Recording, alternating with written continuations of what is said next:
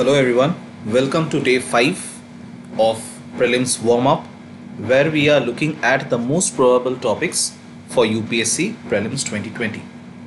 This has been brought to you by APTI PLUS Academy for Civil Services and I am Shayak Datta, faculty at APTI PLUS Academy for Civil Services. So let us start with the first question for today. So the first question is Consider the following statements with regard to IC1 companies and interest coverage ratio or we'll call them as ICR. So the first question is with regards to IC1 companies and interest coverage ratio or ICR. And you have been provided with four statements. The first statement is saying interest coverage ratio or ICR is calculated by dividing the company's interest payments due that is whatever is the due amount uh, as interest payment in a given period divided by the company's earnings before interest and taxes during the same period. This earnings before interest and taxes we call it as EBIT okay? So it is saying what is ICR the definition for ICR is the ratio between the amount the company a, a company has to pay in interest divided by the company's earnings before interest and taxes are deducted from it. So that is the first statement. The second statement is saying that ICR is used to determine how easily a company is capable of paying the interest on its outstanding debts. This is what is ICR used for okay and on looking at the ICR of a particular company an investor or a lender or you know somebody who is lending money to the company they'll be able to understand okay whether this particular company will be able to pay me back the interest on the amount that I'm lending to it. The third statement is saying okay, companies which have ICR of more than one okay so interest coverage ratio is more than one in that case such kind of companies are called as IC1 companies.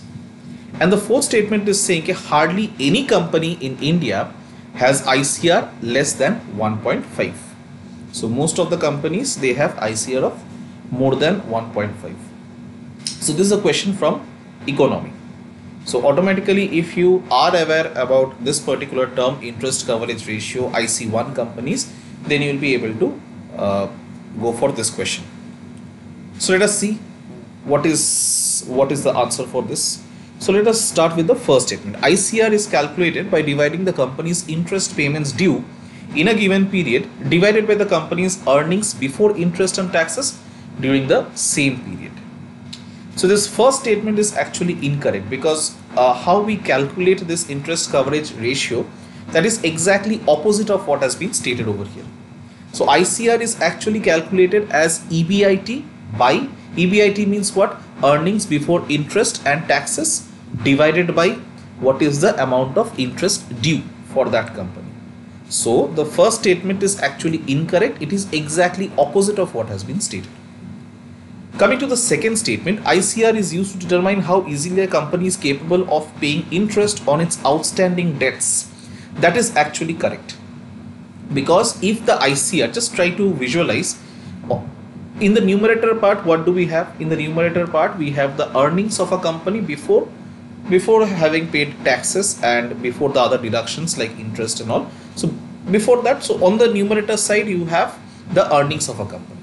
In the denominator we have the payments which uh, the interest payment which is due. So automatically if the earning is more in that case the company will be able to or it will be in a position to pay back the interest which is due right? So if ICR is actually more than 1 in that case a company will be in a position to pay it back pay back the interest. So ICR is used to determine the how easily a company is capable of paying interest on its outstanding debts. This second statement is correct. Coming to the third statement companies having ICR more than one are called as IC1 companies. That is incorrect because the if the if a company has ICR less than one then it is called as IC1 companies. okay so the third statement is incorrect.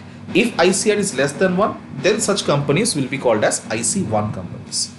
And the fourth statement, hardly any company in India has ICR less than 1.5. So now that you know what is ICR, okay, uh, companies which are uh, so basically any company which is having more than one ICR, that will be in a good position to pay back its debts. But in case of India, we get to see the situation is actually very grim because almost 40% of the companies they have ICR of less than one. We are not even talking about one. I mean, 1.5 is far, far away so 40% of the companies in India, they will be having ICR of less than 1 and automatically they are in a very bad position to pay back the debt. So basically, if you look at the statements, first statement is incorrect, second statement is correct, third statement is incorrect and fourth statement is also incorrect. So our answer should be, let us look at the options. So answer should be A, 2 only. Let us look at the answer. So answer is A, and here I have mentioned the interest coverage ratio it is calculated by dividing a company's earnings before interest and taxes this is what we refer to as EBIT during a particular period divided by the company's interest payments due within the same period so first statement this is the actual uh, calculation. Coming to IC1 companies as I mentioned just now okay all those companies which have ICR of less than 1 such companies will be called as IC1 companies and not the other way around. And in case of India 40% of Indian companies they have ICR of less than 1.5 so we are in a bad position. So the right answer is A2 only and if you want to know the technical aspects of ICR how ICR is calculated etc etc you can go to this particular link that I have provided. A very very good website for economy. To know more about economy is Investopedia. Okay? So whenever you face any difficulties in understanding any terms from economy then you can uh, look it up in this particular website called as investopedia.com it's a very good website for to understand uh, economy and economic terms okay now moving on to our second question consider the following statements regarding the great indian bustard which is a type of bird and a very very important uh, species so far as UPSC is concerned. So you have been provided with four statements and you have to select the correct one uh, with regards to the great Indian bustard. Very very important uh, because it is in the news very very frequently also. Okay. So let us go uh, with the first statement. First statement is saying the great Indian bustard. Now I'll be referring to it as GIB uh, GIBs are flightless birds. So in case if you have gone through any of the news regarding GIB, you would have seen that they are very big sized birds, okay? very heavy. So the first statement is saying GIBs are flightless birds. Second statement is saying GIBs are omnivores. Omnivores means what? They are capable of feeding on both uh, let's say vegetable matter as well as on other organisms as well. So basically on uh, let's say uh, lizards and all these things. So whether they are omnivores or not, that is the second statement. The third statement is saying that GIBs are state birds of Rajasthan. As you might be aware, every state of India has some state symbols. Okay? So they might be having a state tree, a state animal, a state bird like this.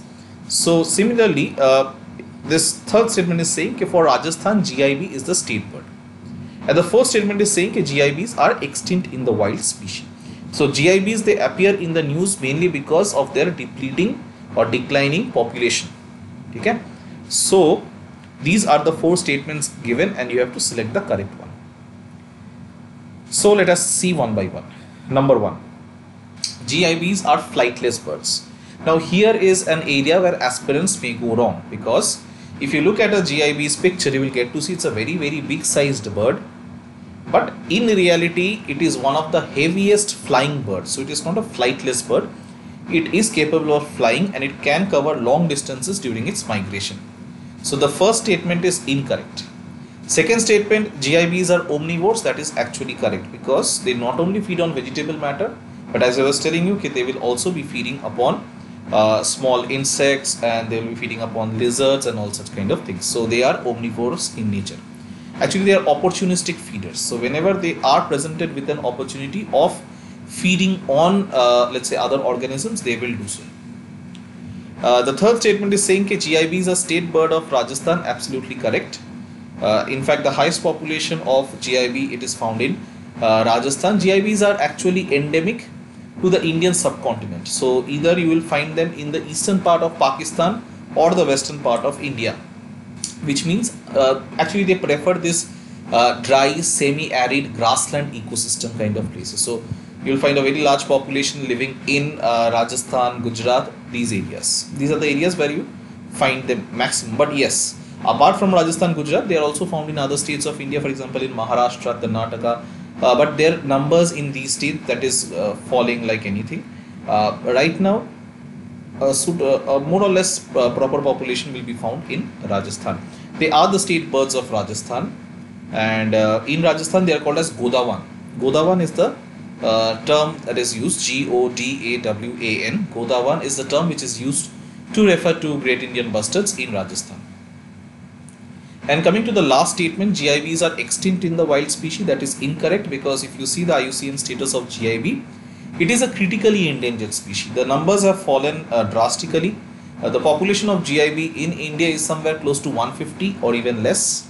So they are not yet extinct from the wild, but uh, looking at the way that the numbers are falling, uh, it is very likely that they will become extinct in the wild very soon there are multiple issues with regards to the conservation of GIB.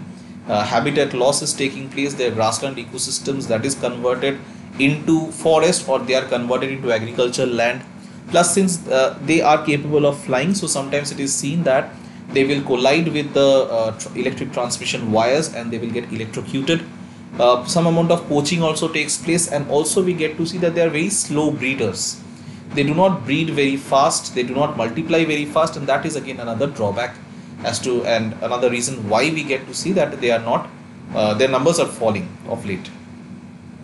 So the first statement is incorrect. The second statement is correct. The third statement is correct. The fourth statement is incorrect. So 2 and 3 should be the right answer. Let us see where it is. Yes in option c we have 2 and 3 let us see. Yeah answer is c. So one of the heaviest flying birds we already know this and it inhabits dry grasslands and scrublands of the Indian subcontinent.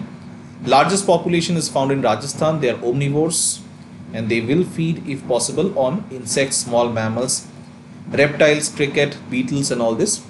Rajasthan has launched Project GIB or sometimes also referred to as Project Godawan.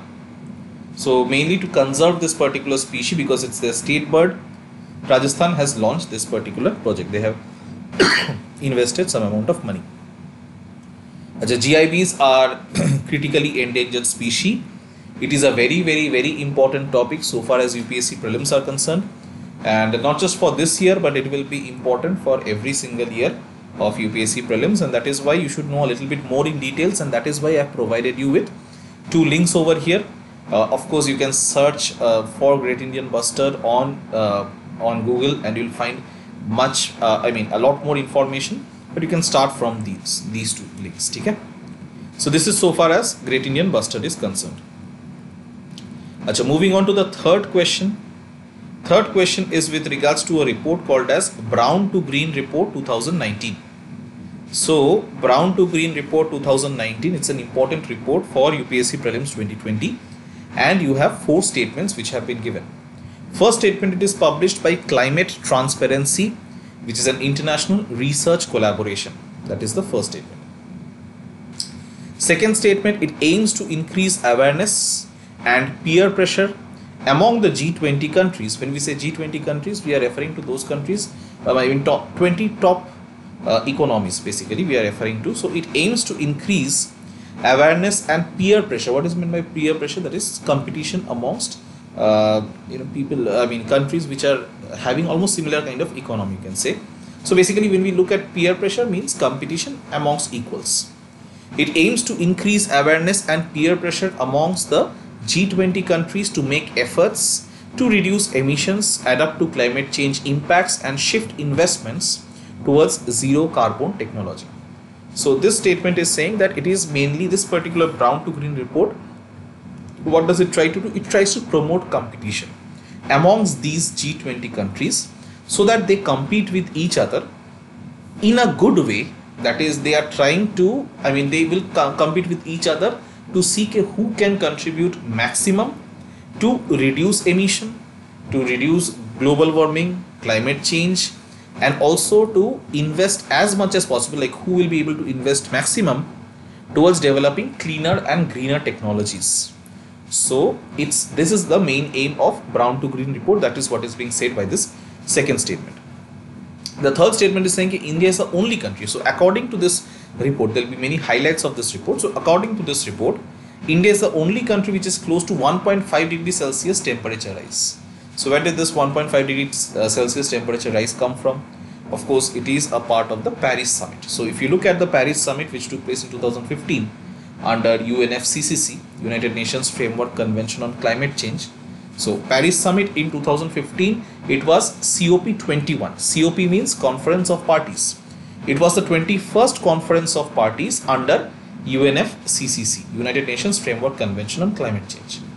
And if uh, at this particular Paris Summit, if you see the main aims of the Paris Summit, one of the most important aim was to ensure that the global average temperature does not rise beyond 2 degrees Celsius above the pre-industrial level temperature within the year 2100 and also more amount of effort should be uh, made by the countries to ensure that the temperature rise does not not only should it not cross 2 degrees celsius above the pre-industrial level temperature but more amount of effort should be made so that the global average rise can be kept within 1.5 degrees celsius of the pre-industrial level temperature so here we get to see that uh, this according to this particular report India is the only country which is close to 1.5 degrees Celsius temperature rise. This is what is being said. And according to this report we have a fourth statement also okay Australia is the worst performing uh, country in terms of its climate response. Now we have to uh, select which are the correct options.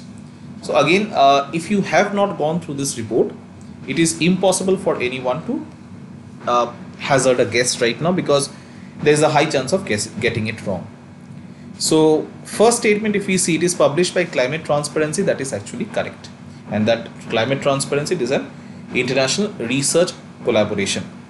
Plus uh, this is actually the aim of brown to green report mainly to ensure that there is a kind of friendly competition amongst the G20 economies uh, to seek a who can do or who can contribute maximum uh, for sustainable development, clean technologies, etc. For uh, the third statement, India is the only country which is close to 1.5 degrees Celsius temperature rise. Surprisingly, yes, that is also correct. And the fourth statement is also correct. So, your correct answer is A, all of the above. And this is the correct answer. And there are many more highlights of this report. It's an important report for prelims 2020 and that is I that is why I have given you the link uh, to the website of climate transparency. You can go to this particular link and read the report yourself. Mark the important points uh, because there is a, there's a lot of important facts and figures that you have to remember. So go to this report look for the important points mark them and try to remember as much as possible so this is with regards to brown to green report 2019 Moving on to the next question, question number 4. Consider the following statements with regard to fast track courts and select the correct option. So fast track courts, uh, they were in news because of the entire Nirbhaya incident. And uh, fast track courts hence becomes a very important topic for UPSC Prelims 2020. So let us see the statements given. There are five statements given with regards to fast track courts. First statement, first statement, they are set up by the union government in consultation with the Supreme Court. So first statement is they are set up by the union government in consultation with the Supreme Court. Second statement they were established in 2000 in the year 2000 to expeditiously dispose of long pending cases. So they were uh, set up in the year 2000 mainly to speed up to speed up the disposal of cases which have been pending for a long time under the uh, various courts of the country. The third statement is saying the 11th Finance Commission had recommended the setting up of fast track courts. Fourth statement, judges for the fast track courts are appointed on an ad hoc basis, means on a temporary basis. Uh, fifth, funding of fast track courts are shared between the union and the state governments. So these are the five statements given and let us examine them one by one. First statement they are set up by the union government in consultation with the Supreme Court. So the first statement is actually incorrect because when it comes to fast track courts, they are set up by the state government in consultation with the respective high court, right? So the first statement is incorrect because it is set up by state governments in consultation with the respective high court. Second statement, they were established in 2000 to expeditiously uh, dispose of long pending cases. That is in fact correct because this is the reason why the entire concept of fast track courts came through so that cases can be disposed of easily. They have been pending for a long, long, long time for many years under the various courts of the country. The third statement, the 11th Finance Commission recommended the setting up of fast track courts. That is correct. The fourth statement, judges for fast track courts are appointed on an ad hoc basis. The fourth statement is also correct.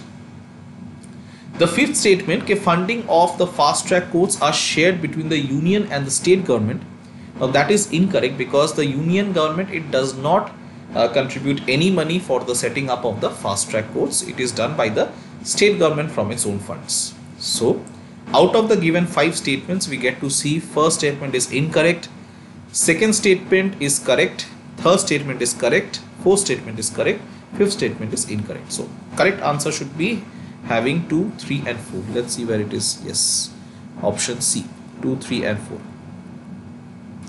so yes the state government it sets up the uh, fast track courts in consultation with the respective high courts. So they set up the fast track courts. Judges appointed on an ad hoc basis and who selects them? Selected by the high court of the respective states. okay no central funding to the fast track courts. The state governments they have to establish it from their own funds. Okay? And uh, if you want to know more about it you can go to these links. One is from PRS India the other is from Department of Justice Government of India. So there you will find information regarding fast track courts and you can read about them. So you can visit these links and know a little bit more in details regarding the fast track courts now moving on to the next question consider the following statements with regards to freedom fighter Rajkumari Amrit Kaur and select the correct option. So uh, Rajkumari Amrit Kaur, who was a freedom fighter, uh, she was in the news and we have four statements given. So let us see which one is correct. Number one, she along with former Prime Minister Srimati Indira Gandhi were mentioned in Times Magazine list of 100 most powerful women. So Rajkumari uh, Amrit Kaur along with our former Prime Minister Srimati Indira Gandhi, they were mentioned, they had featured in Times Magazine list of 100 most powerful women. Now this particular uh, edition, uh, it was in the news of late and hence this uh, particular topic becomes important. Second statement is saying she was educated in Oxford and she was inspired by the ideals of Bhagat Singh. So this is the second statement. Third statement, she was elected as the president of the World Health Assembly and she was the first woman and the first Asian to hold the post. Fourth statement, she strongly supported the reservation for women for their political empowerment. So she believed that it was important to, res uh, to reserve seats for women so as to empower them politically. So let us see. First statement, she along with former Prime Minister Srimati Indira Gandhi were mentioned in Times Magazine list of 100 most powerful women uh, that is correct. The first statement is correct. Second statement, she was educated in Oxford and was inspired by Bhagat Singh. Well, the first part of the second statement is actually correct. She was educated in Oxford, but she was actually inspired by the ideals of Mahatma Gandhi, and that is why she left everything and she joined the movement under the freedom struggle under Mahatma Gandhi. Okay? So the second statement is incorrect because it is not Bhagat Singh, but it is Mahatma Gandhi.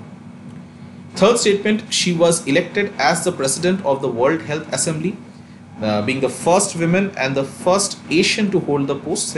So the third statement is actually correct. Fourth statement, she strongly supported the reservation for women for their political empowerment. The fourth statement is incorrect.